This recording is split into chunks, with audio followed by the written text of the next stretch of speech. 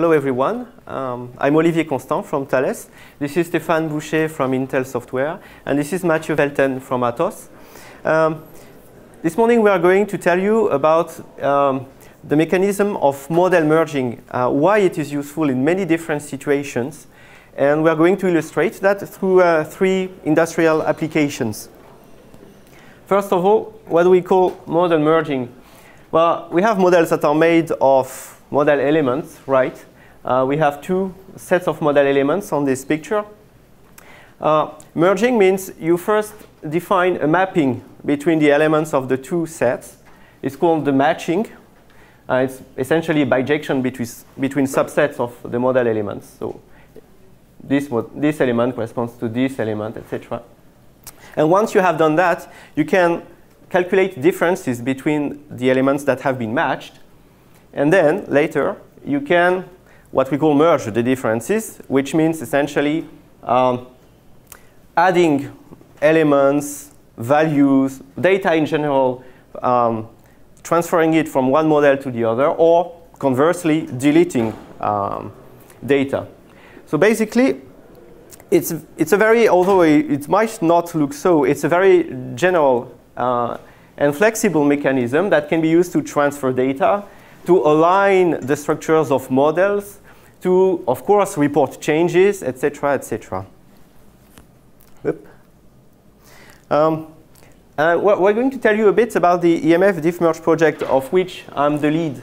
Um, because this mechanism is so general and flexible, um, the vision within this uh, Eclipse project is to have the merging operation as a primitive uh, consistency preserving operation for model manipulation in general. And additionally, to have maximum flexibility, the goal is to be able to operate, to merge, between arbitrary model scopes. Let me illustrate that. A model is a set of model elements. Elements are bound by containment relationships, and there are cross-references. Perhaps the elements are spread within resources, if there's physical storage. And the scope is an arbitrary subset of the elements. And by the way, if somebody is able to draw this kind of figure in PowerPoint with a touchpad in less than one hour, I would be glad that you show me. It was pretty hard to do. so anyway, this is the um, vision we have. And the EMF DiffMerge pro project is essentially a uh, uh, lightweight engine for doing that, uh, aiming at uh, good performance and little memory usage, although uh, comparing models always consumes memory. And it's essentially a feature for building higher level features. So I, everybody, I mean, a lot of people ask me all the time, so why isn't it, isn't it uh, EMF compare? Well, because of that. It's a lightweight engine for building higher level features. Now, let's illustrate the usefulness of these principles through three use cases from the most classical version control to the most exotic. So Stéphane, it's up to you.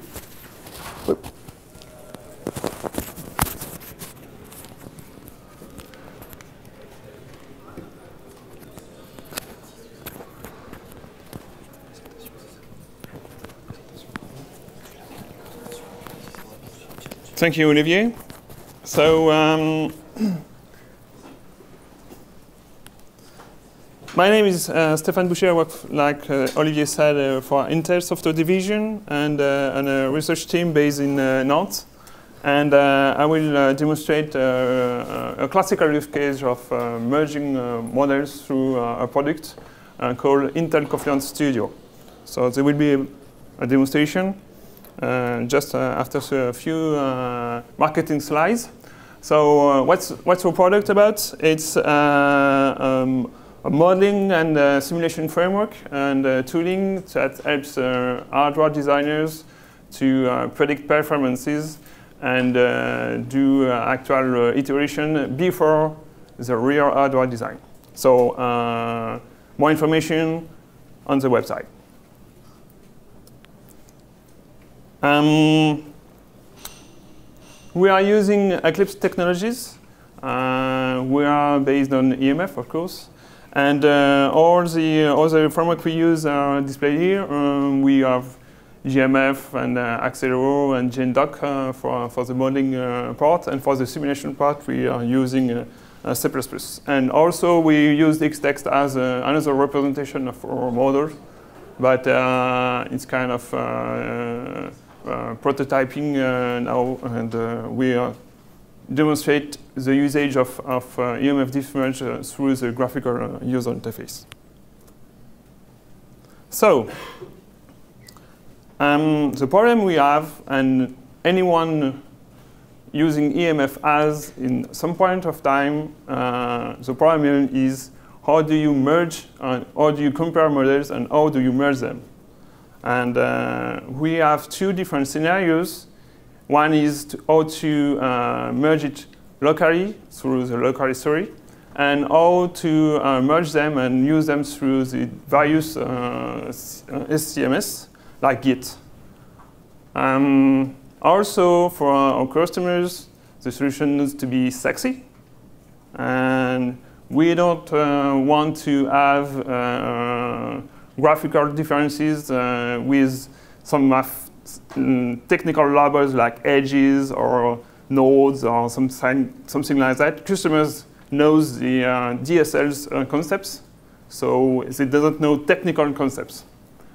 And uh, of course, this is the last bullet, but obviously this is the first uh, thing models needs to be uh, coherent, and uh, the merging uh, has to uh, to be uh, to be consistent when when the models is merged.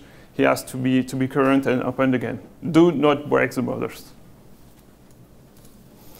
Um, the solution we we we we um, we, uh, we integrated in, uh, in, in our software is to use the diff merge. So as I said, first uh, it preserves the, the, cohesion of the model so, uh, when we measure the differences. And uh, we also uh, were able to use its extensible API very easily for our own customs needs. And the team, well, Olivier here, I need to, to buy you a beer sometimes. Uh, he's very. I paid for his dinner, so. He's very yeah.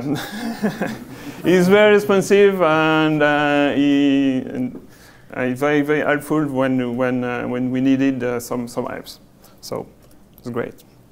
What we've done, uh, actually, we integrated in the, in the tool the compare the Eclipse compare framework. So uh, the diffmerge uh, editor I will show you is uh, bounded into the Eclipse compare uh, actions. Also, we integrated the, the editor through uh, the Git uh, and subversion sub source control systems. And we also integrated the logical model. That's kind of technical, but we will see that on the demonstration.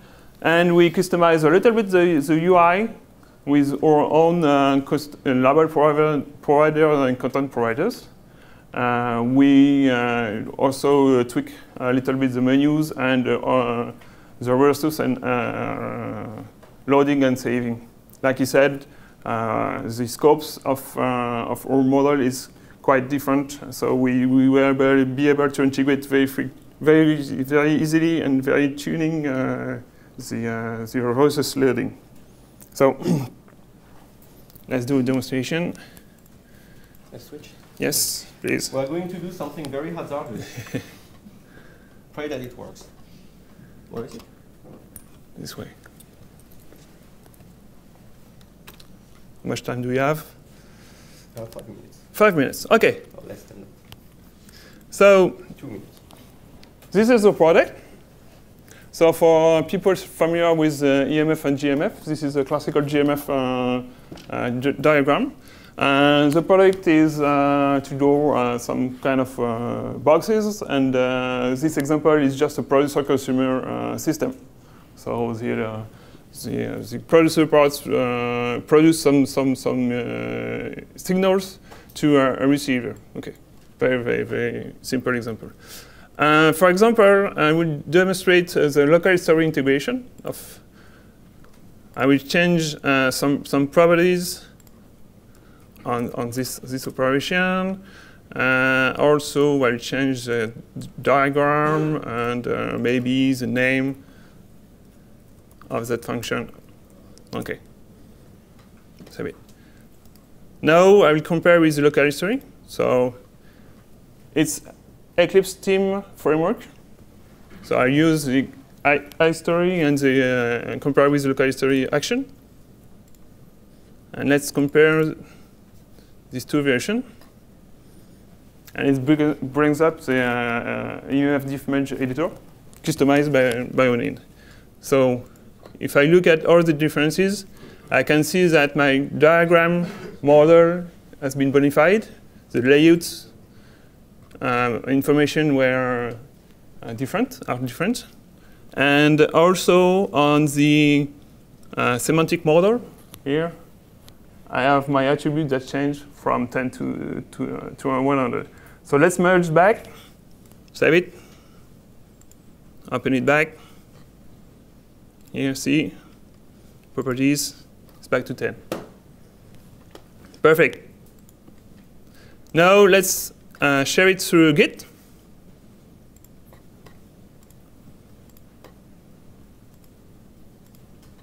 Sorry. Okay. Push everything. Uh, getting started, yeah.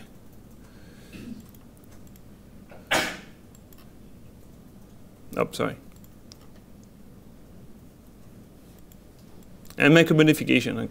Again, for example, once again, move uh, move that, change uh, change that. Okay, I have modification. Compare with add. Once once again, totally uh, eGit uh, interface. I have my uh, I have my differences. Open, just double click on it again. Uh, diff merge editor with my uh, or my my changes, layout of the operation, and uh, init operation. That's it. Let's do let's do let's do it quickly. So back to presentation.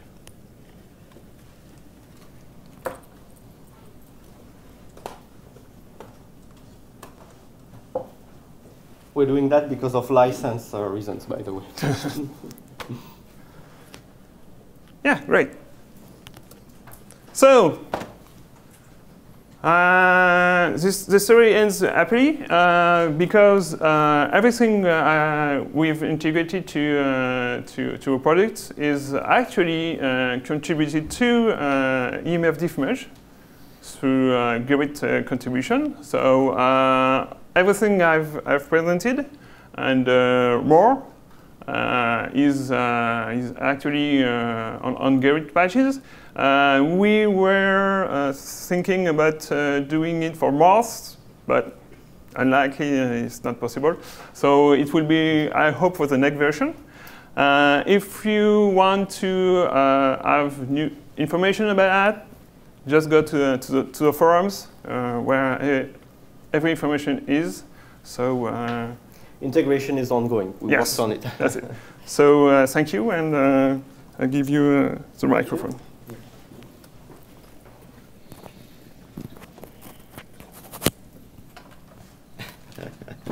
Just go. Complex logistics.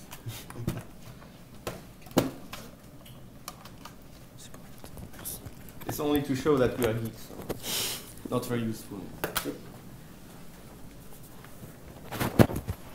So hi, I'm Mathieu. I work from uh, Atos uh, Origin. Um, I'm going to present you an industrial use case that has been done for Airbus. Um, so the goal of this project was to have a central databases for system architecture. So what is it about? Um, first, let's have a small sequence diagram explaining uh, um, what it is doing. So the central model is stored in a CDO repository, which is like a Git for models. Um, we have uh, several tools around. One which is UML based, which is used to edit um, functionals, functional part. Um, so uh, we commit this model, we transform this model, which is in the UML uh, uh, format, in the Eagle uh, referentials, and then we commit the model uh, in the repository. Then we can export the functional part to use it on some other design tools. We can export the whole model on part of it according to some uh, OCL rules. We can do some design in the tools and get back um, to the central repository, do the transformation uh, again, and merge it back.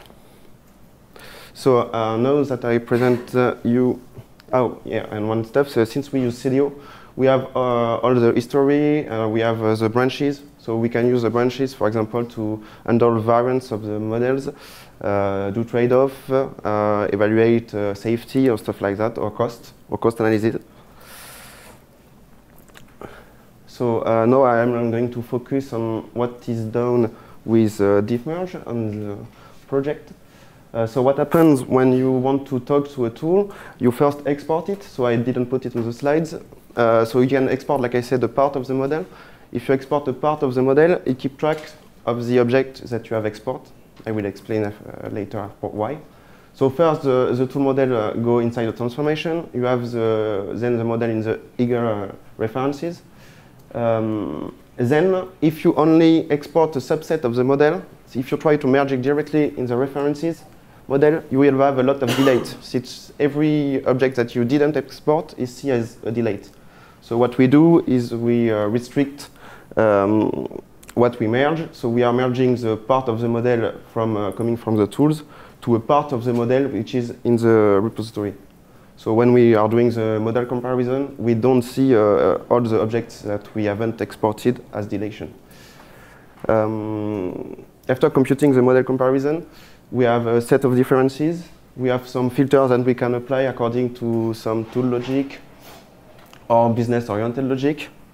Um, then we apply the difference. There is a conflict detection. Currently, it's really rough. It's just yes, no. If it's no, uh, you have to go back in your tool. Uh, then we uh, merge the differences really this time, uh, show it to the user that can uh, validate uh, um, the difference and commit. So this is when you are, we are talking with the tool. So now let's see, when we want, we have um, two branches and we want to merge some uh, of your modification because you are happy with your trade-off. Uh, so in this case, you have uh, two branches. You uh, apply what we call a dataset, which is the filtering uh, functionalities that I was talking about. So in the same principle, we have a subset of um, object, and we mer merge it in a subset of uh, the other branches with the same same um, dataset. You, you, you usually don't merge a dataset in another dataset because uh, you lose the fact that, that you use datasets to restrict your functional jobs or your domain uh, responsibility. So um, this is uh, useful so you don't have conflict uh, that you don't want, uh, side effects on other part of the model that you don't have responsibility on, stuff like that. Um, so now, um, what we did with uh, diff merge uh, was first uh, in integration with CDO. So we customized the match policy. Uh, the match is uh, the first uh, stage of the diff merge that are matching the object of both sides, or three sides where you are using th three ways. So we are based on the CDO ID to do the comparison with some specialties related to the to the functional. So since we have some uh, objects which are also um, matched by a qualified name. And then we also customize the merge policy. Uh, the merge policy is mainly you need a way to set an ID uh, when doing merge, and uh, it's not the same in the it's not in the EMF uh, API. So we are plugged directly on uh, some CDO API. If you want more information on that, I can give it. Uh, and we also use a three-way merge uh, using the ancestor pulled from the CDO history. So why three-way merge? As you can see here, uh, if two people do some modification, one modifies uh, this line, this line, this line, and here this line. Uh, if you only have these two, you know there is differences for this four line, but you don't know which one uh, is okay, is good. Uh, if you have the ancestor, you know who has modified. So if they didn't modify the same light, you, uh, line, you know what to do.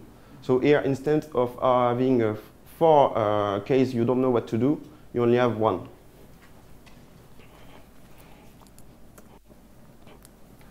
Um, happy ending again. So that's the contribution that we will do um, quickly. So we also, uh, he talked about model scope, which is the abstraction, the diff merge abstraction regarding models. So the model scope is used to modify or load the model. Um, and we modified it a little so we can track uh, the merge action like uh, the, the objects that have been added or deleted. And uh, we also have uh, some patches for the three-way conflict detection. Currently, if you have a deletion on one side and a modification on this deleted element on the other side, you don't see it as a conflict directly. You can see it if you try to merge one, because the other one will say you can't merge both. You can merge the deletion and the modification, but you don't see it directly in the UI.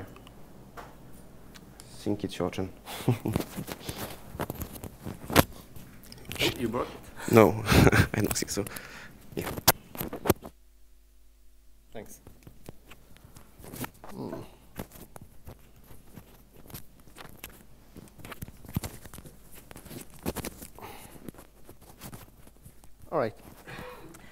After um, version control, Stéphane, after uh, heterogeneous modeling in a version control uh, context, thanks to Mathieu, uh, via, via transformations, let's see something a bit more, uh, uh, I'd say exotic.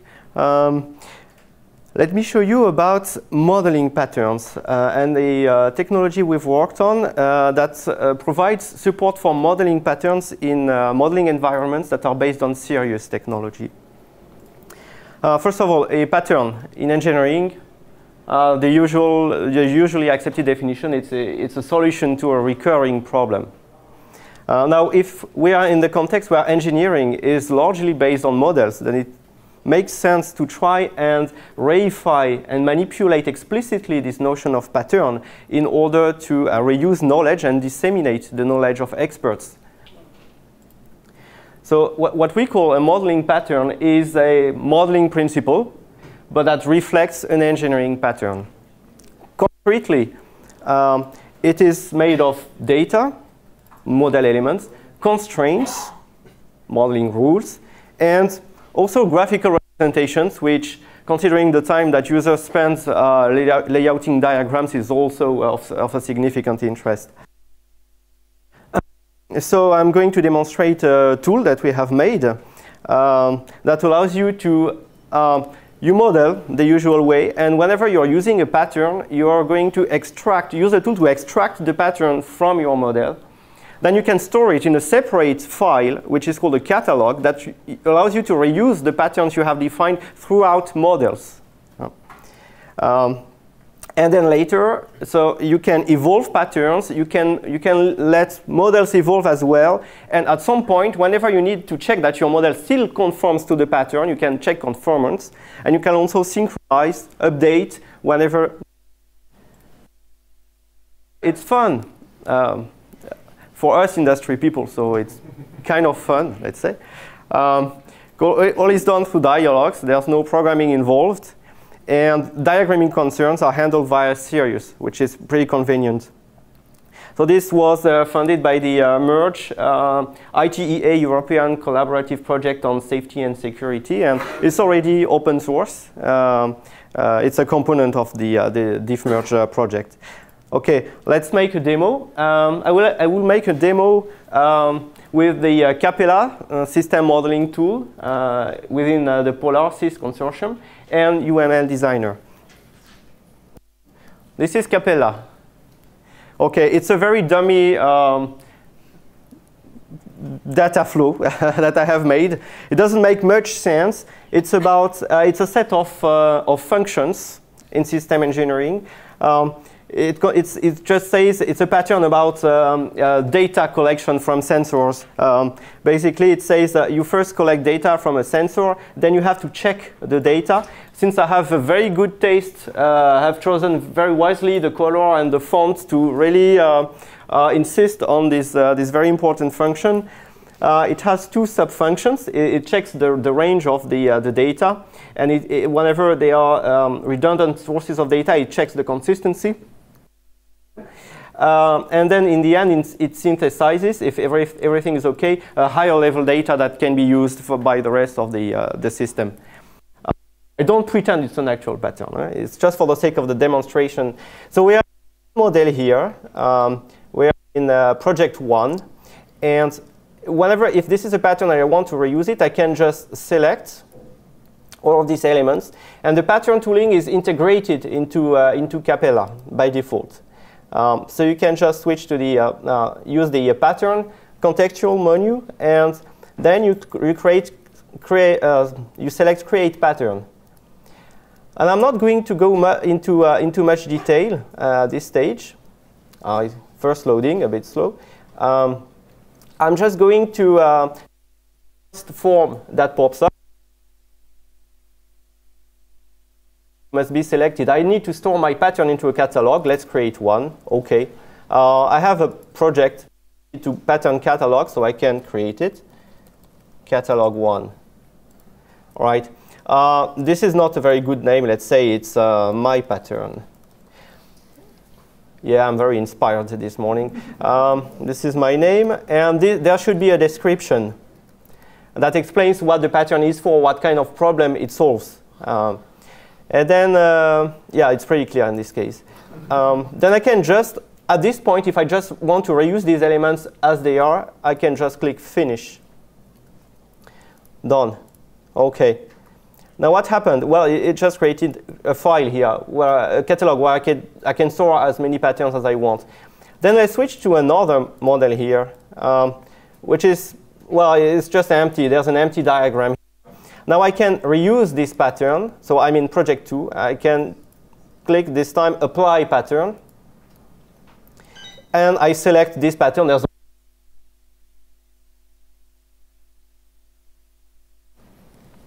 and then, OK.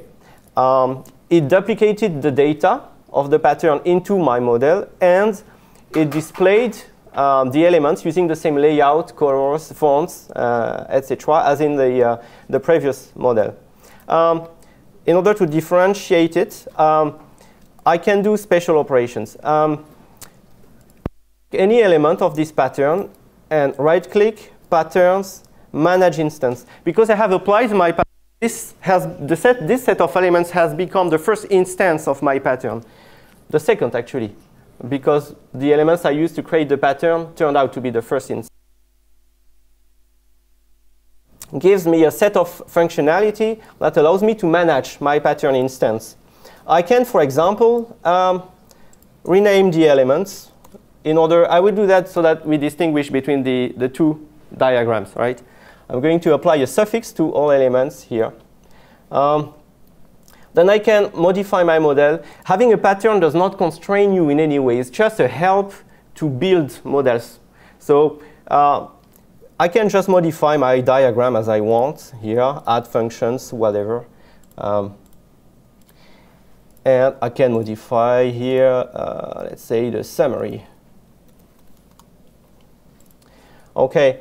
Then maybe I'm a bit lost because my model evolved and I don't remember uh, where I applied patterns. So I have access to this um, um, instance, pattern instance explorer view that shows me all the catalogs that are used in, my, in the current model, all the patterns that are being used as well. There's only one. And all the instances in my model. There's only one as well. And I can see what elements um, are in it. So I can, uh, where's my instance? I don't remember. Let's double click here. And OK, where is it? I think it's near here, but oh, all right. These are the elements that belong to my instance. Um, obviously, this function does not belong to it. And the other ones, and this port as well, do not belong to it. OK. Um, I can also check wh whether I'm still conformant to my pattern. If I click the check button, I see it's, it's OK. Only there are, there's additional stuff compared to the pattern. This is because I have added a function here, and I have added an exchange here. Um, so all right, I can ask for more details. If I click the Detail tab, I have this comparison view that allows me to see what elements have been added, and for example, that the summary of this function has been modified the value in the instance and the value in the, in the pattern. Um, once I have done that, I can, maybe I want to, um, ah, let, let me do something. Uh, let's remove stuff also. Um, for example, I don't know, this. OK. Then I'm not conformant at all to my, pa my pattern because I'm missing elements. Obviously, the pattern is violated. If I, if I click check, it says, it says, wow, there's a lot of stuff missing. So, OK, I have this. I can synchronize. So I have this update instance button. OK. I clicked it. It recreated the elements and connected them to uh, the, elements that, the elements that remained.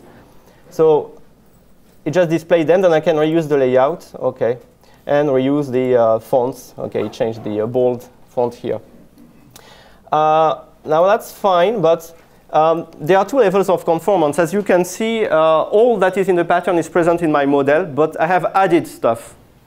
Most of the case, this is what we want to do. But in certain cases, you may want to enforce a strict conformance where there is also nothing more in the instance than in the pattern. In that case, you can click update instance, but with the destructive option selected. If I do that, then okay, it removes it removes the additional function here and here the um, the exchange. Okay. Um, now let's see something else. Let's say uh, I want to modify my pattern, evolve it. I'm going to add here an exchange. And now I can update my pattern Okay, it says uh, there are still uh, there are additional elements. That's okay. I want I will update the image as well. Okay. Now, if I check my okay, let's save. If I check my second instance, it will say, well, there's stuff missing because the pattern evolved. So obviously, I was conformant. I'm not conformant anymore. I am conformant uh, on version 1.0 as written here. This is not OK. So let's update the instance. And then it added the additional the element that was missing. I can reuse layout. OK, and style. OK, and now, now I'm all right. I'm perfectly in sync. So this is obviously a reuse mechanism. It can be used in, in any Sirius-based environment, although it requires some customization to really make sense for the user. Um, you might ask, OK, this is reuse. This is not what patterns are in general? And I, will, I would answer, well, this is the first step. If, you, if we want to have real patterns like the object-oriented design patterns that are well known, we need a reuse mechanism. But we need more. Now I'm, going, I'm not going to go into details, but I'm going to make a demo of the observer design pattern within UML Designer. I hope most of you are familiar with the observer pattern.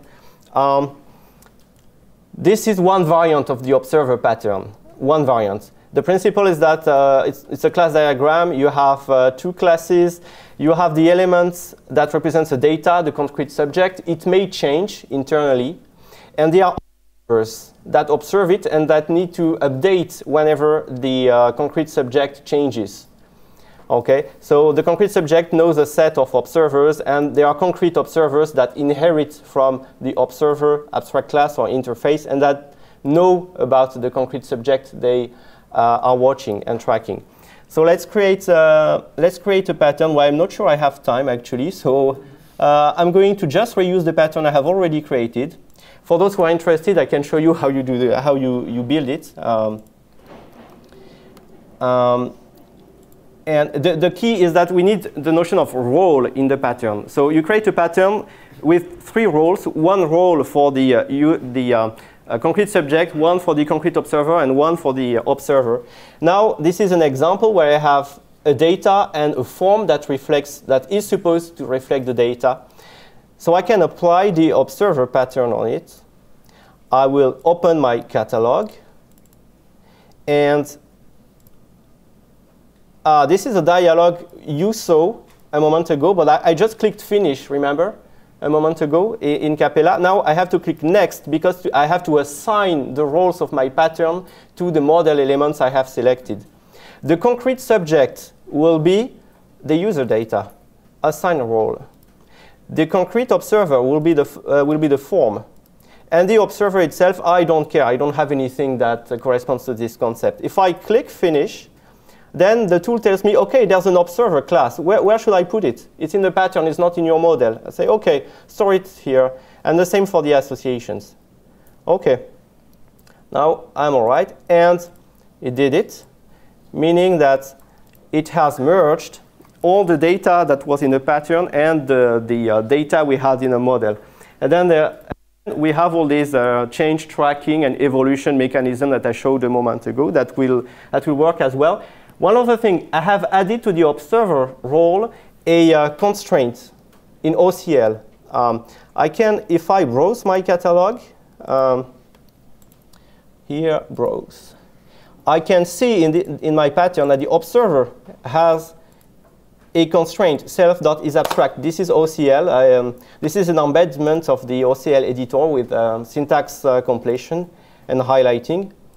And indeed, if I select my instance, uh, no, sorry. Um, if I um, modify the, uh, the isAbstract attribute, uh, then I will have an error um, that, that will say, uh, it will state, OK, uh, this should be abstract, and it's not. And it's really integrated. Um, I I won't have time to show anything else, but if you're interested, I will show you all the functionalities. Um, there are still a lot that I didn't show. Um, the idea is to reuse, disseminate know-how, and enforce modeling rules, uh, all uh, with, with, one tool, and manage layout. OK, I'm done. A bit late, sorry. Um, OK, now uh, don't forget to uh, put a plus one or minus one, but I prefer the first option uh, for this talk if you have appreciated or send, send feedback so that we can improve. Now, if you have any question uh, for any of us, please do not hesitate.